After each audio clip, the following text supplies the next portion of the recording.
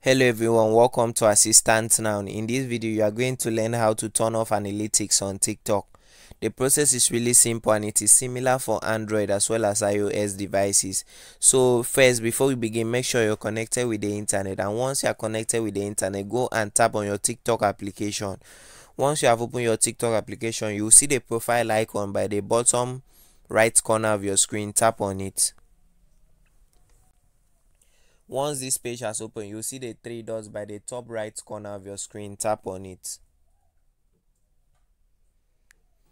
Then you will see the option that says manage account. Click on it.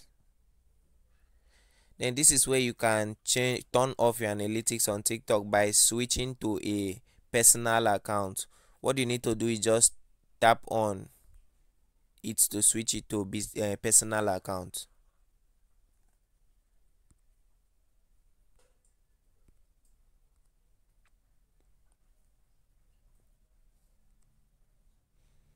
once you have switched it to a personal account you will not see your analytics on tiktok again.